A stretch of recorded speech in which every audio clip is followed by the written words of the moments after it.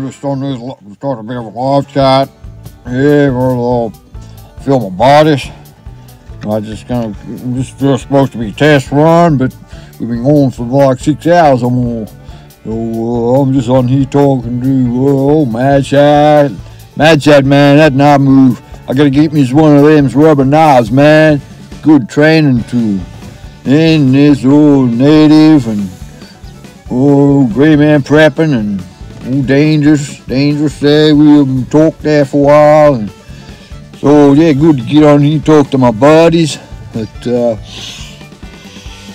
mm, what's that native? Yeah, well, that house is where my house is. It's on 50 acres.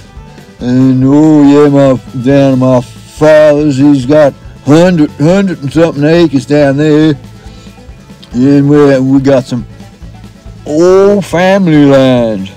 So yeah, yeah, I like to hunt. I like to hunt. My favorite thing to hunt squirrel. I like hunting squirrel. But uh, I hunt a few deer too.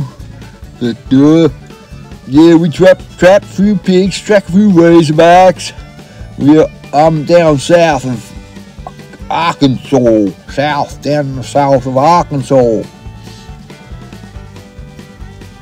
But uh, yeah, uh, it's good to get on here and uh, uh, you know talk to a few of my buddies.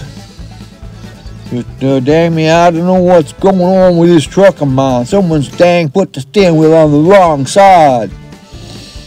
But uh, I was gonna go down in the woods today, do a bit of bushcraft thing, but uh, run out of daylight.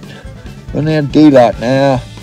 Um, we just have to cut this live thing up, man. This was just a trial run, but it's going over six hours now. So uh, you all, you all hope you all enjoyed it. Enjoyed it. Yeah, you all.